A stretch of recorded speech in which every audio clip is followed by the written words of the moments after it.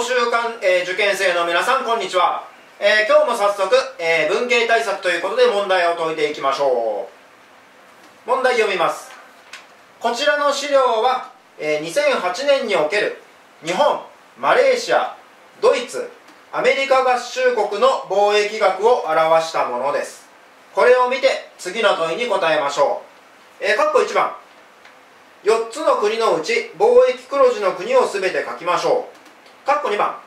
アメリカ合衆国と日本の貿易額について輸出額と輸入額の違いに注目した上で分かることを書きましょうということです。えー、これ欧州間ではよく出る定番の、えーグラフ、えー棒グラフの読み取りの問題になりますね。えーでは、えーそのグラフの問題どのようなところに注目して見ていけばいいのか早速、えー見ていきましょう。まず表の内容を見極めるということが大切ですね。どのようなことが書かれているのかわからなければ、えー問題解けません。まずは、えー基本的なことですけれども、えーこちら2本の棒がそれぞれありますけれどもそれぞれが表しているものが、え黒い棒が輸入赤い棒が輸出を表しています。ですので例えば日本の場合輸入に比べて輸出の方が、えーこれだけの量、えー上回っていると。例えばアメリカ合衆国の場合輸入の量が輸出の量よりもこれだけ上回っているというように見るわけです。そしてえーそれぞれについて、え単位の方ですね。見ていきますとえこれは100億ドルとなっています。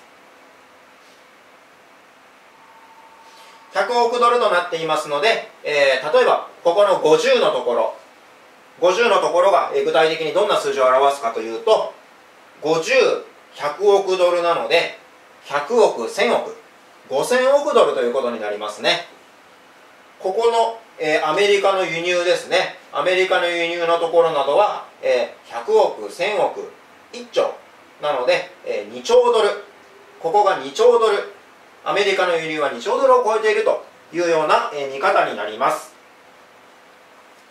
えーただこの表を見る場合に、えー気をつけてほしいのは例えば日本ですね。じゃあ日本の輸出は輸入に比べてどれくらい上回っているのかと。これえちょっと見ただけでは少し上回っていますというような表現をしたくなりますけれども、えー本当に少しなのかということになると、えーこれ実際にちょっとね長さを測って見てみますと例えばこういう問題出た時、えー受験生の皆さん、えー実際にね定規とかを使って長さを測って、えーどれくらいなのかというのを見てもらうといいと思うんですけれども、えーこの問題の場合は、えー約26万ドルですねこの差が。なのでえー26万ドルそれを少しと言えるのかどうかというようなところが問題になってきます。26万ドルというと26万ドル。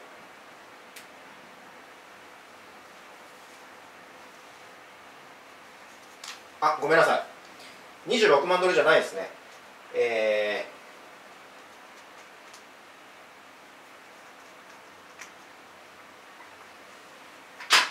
ー、50万ドルですね。すいません。測ったところ50万ドルになりますので、えー約、えー4500万円と。いうことになりましてとても大きな数字になります、えーこれをですね、えー少ない少しだけ多いと言えるかどうかというところが問題になりますので、えー例えば、えー輸入額の、えー輸入額に比べて輸出額が、えー数パーセント上回っていますというような表現とかですね。にすると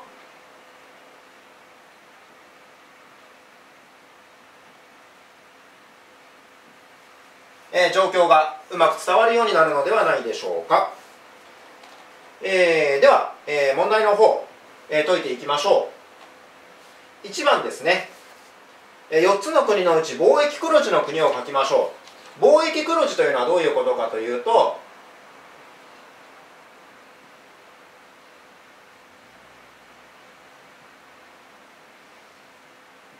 えー輸出の方が輸入に比べて多くなっていると。いう状態を指します。これに対して、えー、ここでは聞かれていませんけれども貿易赤字と言いますね。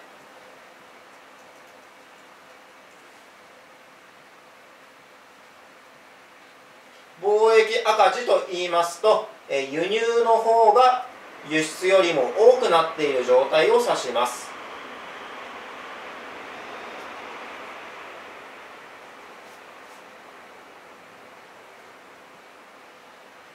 えここで、え問題の方、え貿易黒字の国、えどこですか？ということになっていますので、え輸出の方が、え輸入よりも長いところ、え赤い棒が黒い棒を、え上回ってる方ですね。日本こちらそうですね。マレーシアも赤い方が長いです。ドイツも赤い方が長いですね。でアメリカを見ると、えー、アメリカ合衆国こちらだけは輸入の方が長くなっていますので、えー、貿易赤字だということが分かります。ということなので、えー、貿易黒字の国は日本マレーシアドイツ以上3カ国ということになります、えそして、え2番です。アメリカ合衆国と日本の貿易額について輸出額と輸入額の違いに注目した上で分かることを書きましょう。アメリカと日本に限定されていますので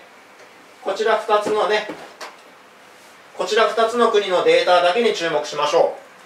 う、えー、ここからどういうことが分かるかというと輸出額と輸入額の違い。ここに注目してということなのでまず日本の場合輸出額が輸入額を上回っているということがまず分かりますね。そしてアメリカの方同じ観点で見ますと輸入額の方が輸出額を上回っているということが分かります。そしてえー、引き続いて、えー、それぞれの違いを、輸出額と輸入額の違いに注目してみますと、え日本の方はここそんなに差がないですね。ただアメリカの場合はこれも、えー、実際に測ってみると分か分かるんですけれども、えー、1.5倍以上輸入の方が、輸出に比べて1.5倍以上あります。ですのでここのところ、えー、違いとして指摘してあげるといいですね。日本は、えー、輸出額が輸入額を数パーセントしか上回っていないけれどもアメリカ合衆国の場合は輸入額が輸出額の1.5倍以上と非常に大きく上回っていますよというところが指摘できるかと思います。そして、えー、最後にですね日本とアメリカ、え全体的な輸出輸入の量に注目してみますとえー、輸出輸入ともに、えー、アメリカ合衆国は日本の、えー、輸入輸入に至ってはもう3倍ぐらいありますかね。輸出の方は1.5倍ぐらいと、えー、非常に大きな数字になっています。ここのところも指摘してあげて、えー、輸出入額ともに、えー、アメリカが日本を上回っており、えー、輸入額は、えー、アメリカ合衆国日本の、えー、2倍を超えているというところを指摘してあげるといいでしょう。えー、以上、えー、これね、グラフの問題、欧州間ではよく出る定番の問題です。よく復習をして、えー、皆さん、欧州間受験に向けて頑張りましょう